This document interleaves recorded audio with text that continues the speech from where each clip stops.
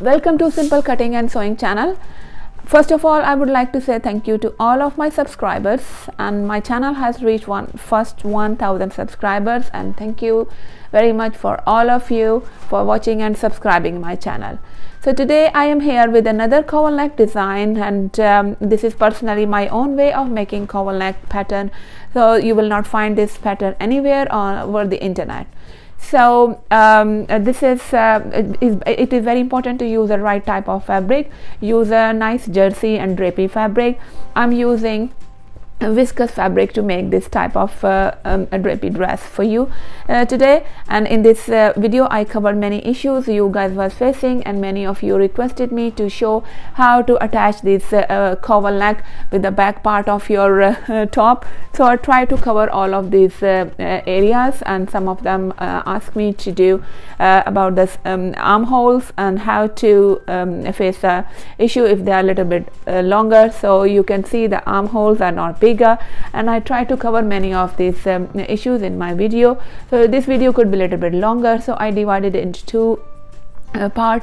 So stay with me and uh, uh, be patient and continue watching all video. So you can see step by step. I will start this cowl neck dress or top whatever you want to make by cutting a spare pattern. So spare pattern I'm using my old uh, pattern which I have cut for my top to cut the new one which we are going to use for this project. And the type of fabric I will be using that is a viscose I will start this top by cutting a pattern. After cutting a pattern fold your fabric place a pattern on a top and cut as I am cutting.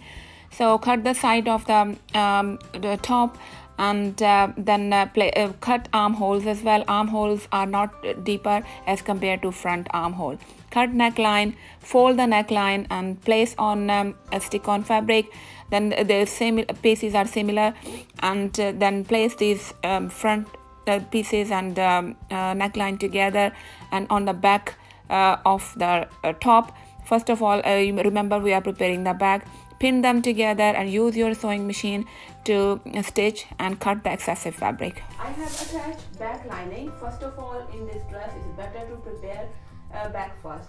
So this is um, a stick-on fabric and this uh, when I will fold it inside and then iron it, it will stick to the fabric. So I'm, at the moment I'm not going to fold this uh, now.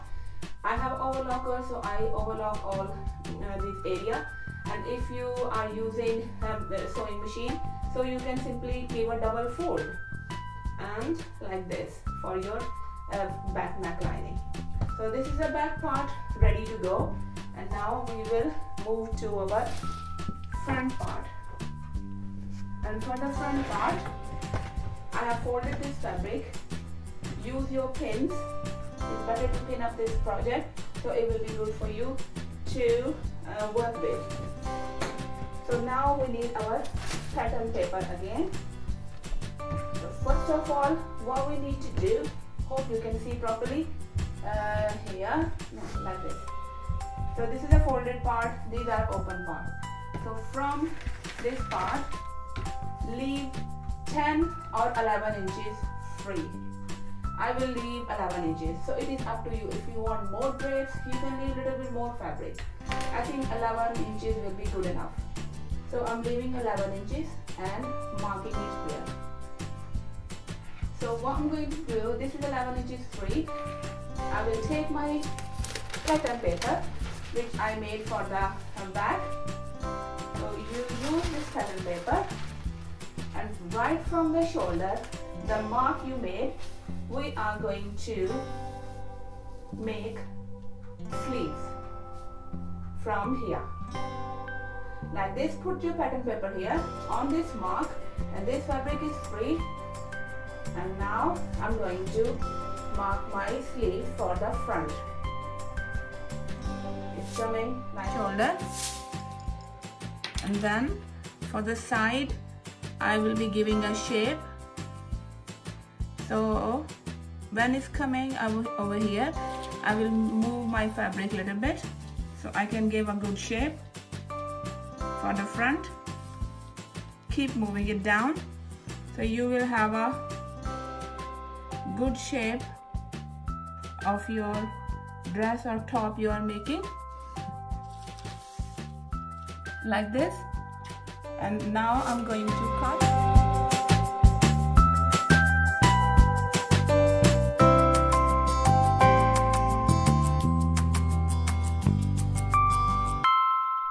Now our front part look like this. This is 11 inches. This I left free. And here I cut sleeves from the side. I will make them deeper later on but not at the moment. And this is the side of our the side curve for our top or dress whatever you are making. And I leave some extra length and whatever the length I want. So later on I will decide if I want to keep it a long dress or a little bit shorter. So we will do this later on. So this is basically its shape should look like this at the moment. This is a free part these are the sleeves and these are curves. So next what I'm going to do I'm going to do slight curve here. Just slight diagonal. And now I'm going to overlock this one. And if you don't have overlocker doesn't matter. You can use a zigzag because this part I'm going to fold it like this inside. I will come back now I have overlocked this part this free part. You can see and you can simply use zigzag machine. Um, zigzag stitch for this area. And now what we need to do take our pattern. We make for the back. Open this fabric uh, pattern in front of you like this. Hope you can see it properly. Now what I'm going to do this area which I have cut diagonally I'm folding it in. So this folding area and this one. So it is up to you if you want a deep neck leave it like this. Or if you want little smaller uh, fold. So what you will do about one inches go up and pin up here. And on the same side go one inch up and then pin up. And see if you like the depth or not. If you think that it's still deep so what we can do? Move it a little bit away and we will cut from the shoulder. We will have to give a shape anyway. So I will move it a little bit up. So both sides basically should be equal so we'll pin up with a paper. So we have a next free step. I will fold it and then I will leave it a little bit diagonal like this. So keep see keep watching your drape. And now I will pin up again. It's coming like this. It's not straight. It's coming diagonal because I'm giving a drape in front. And then pin up again and the same on other side. Fold it. It's uh, you can see there is a diagonal. It's not straight. And then pin up again. And as I mentioned this video could be a little bit longer so I will divide into two or three parts. So keep watching keep staying with me. So next third one. Fold it again. And then like this. This one fold will be a little bit longer because it's going further down. And make sure we have to match this shoulder area. Remember we cut this shoulder like this. And make sure this shoulder area matching with it. And the rest of the fabric could go in folds. Now I'm going to give another fold. You can give three folds or four folds. This is up to you. So I'm gonna get third fold like this and pin up again. And on the same side same way on another one. Third. And then pin up again. And watch lovely drape coming down. And make sure the sleeves are matching. The sleeves are a little bit bigger. So we will sort them out. And I will tell you how to if your sleeve you cut your sleeve a bit longer so what to do. Because I have a few requests asking if the sleeves they get longer so what we can do.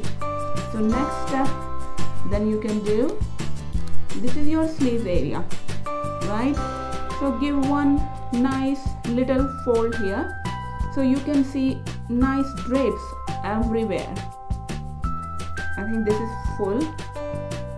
And just pin it up. So these are the three fold I could give. If you have a more fabric or if you give little bit smaller fold you can give more folds. Now match this sleeves area with this one. And here as well same on other side. And now you can see a nice drape is coming in front. And this sleeve area this one it look little bit longer. When the sleeves are little bit longer so it does not matter. So what we can do give a slight fold and make sure they are diagonal fold. So in this way you will get more drape. But in this uh, in this uh, uh, top one area is coming with a fold and one not so better not to do it. We will cut the excessive fabric. So I will do